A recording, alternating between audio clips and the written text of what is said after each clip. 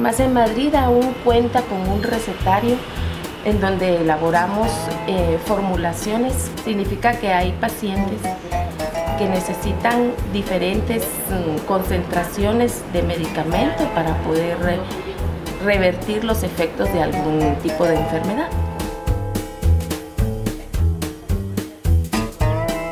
Tenemos medicamentos originales importados de Francia, Alemania, que ya no se traen a Guatemala porque pues ya no, ya no se puede con tanta facilidad traer ciertos medicamentos con la calidad que se hacía de esos países.